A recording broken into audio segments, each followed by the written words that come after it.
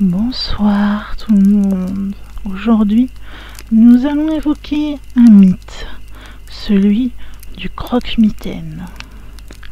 Le croque-mitaine est un personnage maléfique dont on parle aux enfants pour leur faire peur et ainsi les rendre plus sages.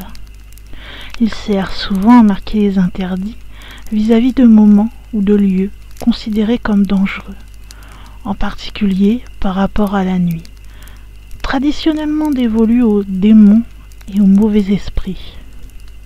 Un croque-mitaine peut se dissimuler aux abords d'un cours d'eau ou d'un étang afin de noyer les imprudents. Dans les régions où l'hiver peut être rigoureux, un croque-mitaine mange le nez et les doigts de l'enfant, ce qui sont les parties du corps les plus exposées aux gelures. La crainte provoquée par la menace de tels personnages crée une peur qui n'a plus besoin d'être motivée. Le croque-mitaine existe dans l'imaginaire de tous les pays. Seuls leurs noms sont variables et quelques particularités permettent de les identifier.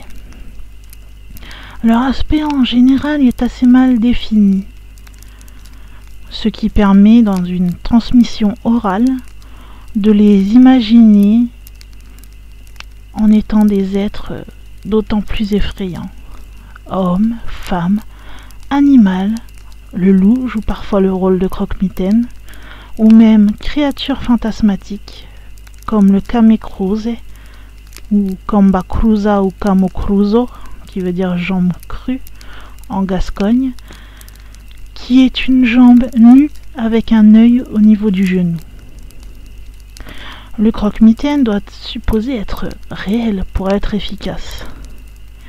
Et il entre peu dans les contes de la tradition orale, puisque ceux-ci sont acceptés comme des fictions par les auditeurs. Et il n'entre pas non plus dans la catégorie des légendes, puisque il doit être considéré comme vrai et constitué d'un récit plus ou moins précis.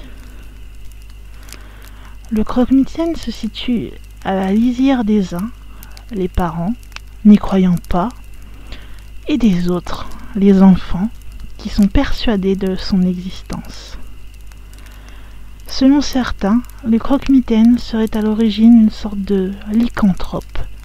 Il est censé se dissimuler de préférence dans les lieux sombres et fermés, comme sous votre lit par exemple, dans un placard, ou dans une cave. Plein d'autres endroits sont encore possibles pour qu'il se cache.